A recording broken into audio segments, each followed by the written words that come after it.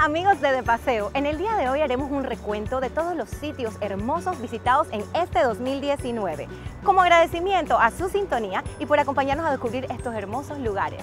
En el día de hoy, Julieta y Jamie no pueden acompañarme por compromisos personales, pero yo no me voy a quedar sola. En estos momentos voy a presentarles a una amante de los carros. No solamente eso, sino también que fue una candidata a reina de carnaval de Panamá. Ella es Janet Haskins.